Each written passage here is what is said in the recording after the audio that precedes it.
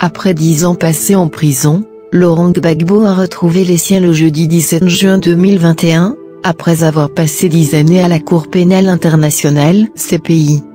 Jugé pour crime contre l'humanité, en compagnie de son poulain Charles Oblégoudet, l'ex-chef d'État ivoirien a été définitivement acquitté en mars 2020.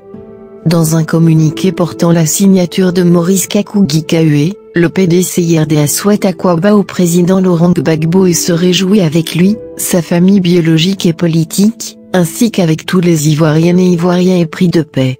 Le secrétaire exécutif du parti fondé par Feu Félix Houphouët-Boigny salue également la contribution de tous ceux dont la somme conjuguée des efforts a permis d'aboutir à cette issue heureuse.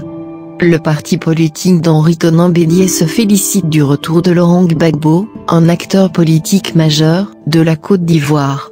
Le PDCI place un grand espoir, quant à la poursuite du processus de réconciliation nationale.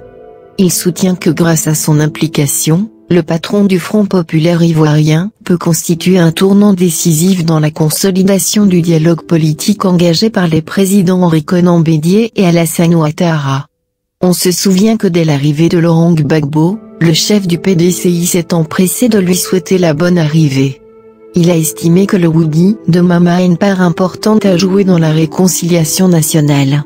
Cette vision transparaît dans la note émanant de Maurice Kakougi Kaue. Par ailleurs, le parti septuagénaire estime que, pour une véritable réconciliation entre les fils et filles de la Côte d'Ivoire, après les deux décennies inutilement perdues, en raison du climat de division, et de méfiance engendré par les crises, et conflits à répétition, le temps est venu de procéder à la libération de tous les prisonniers politiques, et militaires, et de permettre à tous les exilés de rentrer chez eux, sans craindre d'être inquiétés.